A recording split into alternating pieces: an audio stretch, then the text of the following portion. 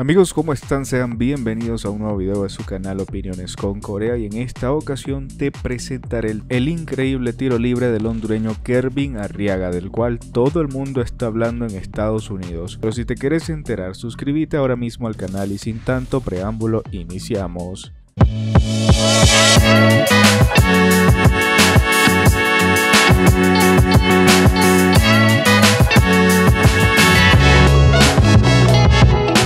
La gran victoria del Minnesota United ante el Dallas FC dejó a un gran protagonista y no fue precisamente el goleador del partido que en este caso fue Mender García, quien fue el único anotador del partido. Sin embargo, ese gol fue opacado completamente por el mediocampista hondureño Kervin Arriaga, quien estuvo brillante en este inicio de temporada en la MLS con números destacados y con una jugada magistral que desafortunadamente no terminó en gol. No es una sorpresa que el Catracho esté teniendo éxito con los Loons, ya que es uno de los jugadores más destacados que tiene el medio campo de Honduras, y eso se refleja en cada jornada en la MLS.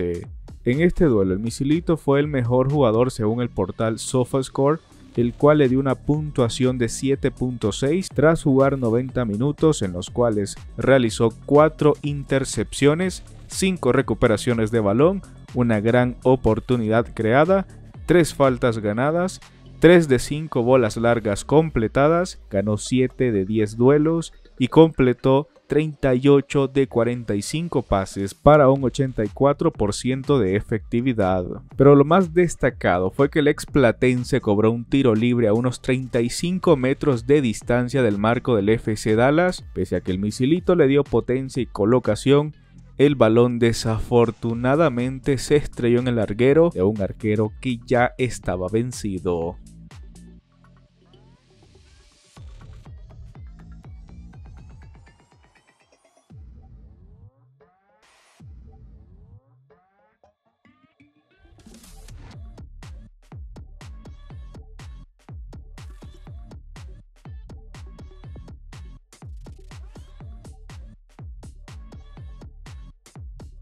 No sé ustedes, pero a mí ese remate largo y esa precisión y esa potencia me recuerdan a alguien, sí, al mismísimo Rambo de León, que bueno, el mismo Misilito ha dicho que es su mentor.